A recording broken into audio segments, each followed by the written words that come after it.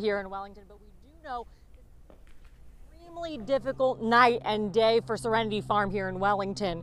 Uh, they board, train, and sell horses.